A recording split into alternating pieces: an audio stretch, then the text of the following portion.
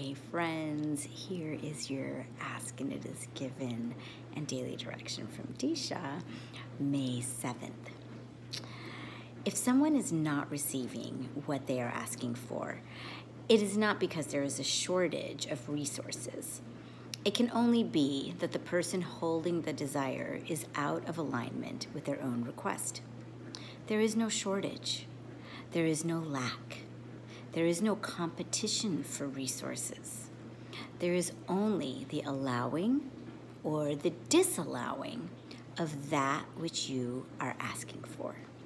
So when I read this, this immediately made me think of many of you might have heard this story. So I wear this necklace, and it's got um, it's a very important necklace to me. My mother gave me an Om right before I went to college, so I have that. And then when I got married, this is my Minamala, and that my husband put on me.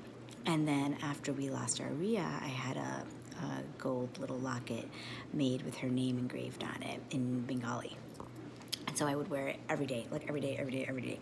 And like, oh my gosh, it's probably like um, nine years ago now. Um, I lost it.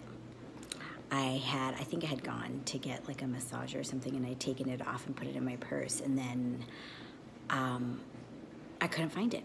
I couldn't find it. I couldn't find it. I couldn't find it. And I was like frantically looking for it. Couldn't find it.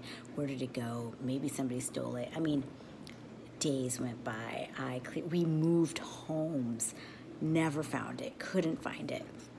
I mean, literally, my energy was, oh my God, where did it go? Where did it go? Where did it go? It wasn't, so, so you feel that negative, fearful kind of energy. You know, I can't find it, I can't find it. Where is it? Where is it? Where is it? Where is it? Who stole it? Who took it? You know, that kind of energy. So I looked for years, nothing. And then finally, I even bought a different necklace. I used to wear a different Om necklace every day and I wore that for like three or four years nonstop. And then one day, I was sitting at the mall, I remember, in Minnesota, and my own necklace, my new one, just chink, just like fell off of me. And I was like, what's going on? And so I put it back on, and then chink, it just like fell off of me again. And I looked at the clasp, and the little clasp had like broken, and it was gonna be like a lot of money to just get that little gold clasp fixed. And so I went home and I was like, oh man. And I took the locket and the necklace and I just like put it up in my jewelry case. The next day, I was like, oh, I'll have to figure out how to get this fixed later. And the next day, I was cleaning out my closet. So, mind you, we had moved, totally new house. And I was like, you know, I need to declutter, get rid of some of this stuff. And I'm just you know, opening up. I have old purses and stuff. My sister loves giving me purses. I have old purses.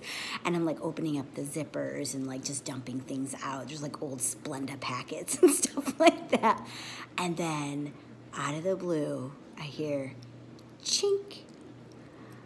And there it was, this necklace. I was like, oh my God, this is like probably five or six years and a move and a move that I found it.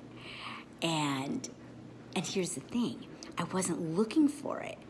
So when we have that energy of looking and yearning, we, what the energy that we're actually putting out there is the energy of lack, and so we don't receive it. So when we drop that energy of lack, like I didn't even think about it anymore. Um, I was just allowing whatever, you know, and voila, I, it was received when I least expected it. And since that time, every single time I've lost something, I always find it. Every single time. Somehow, some way, in the most weird place. Every time. So I've learned if I lose something, it's all right. I know it'll come back to me. Hope that serves. Have fun with it. What have you lost and found?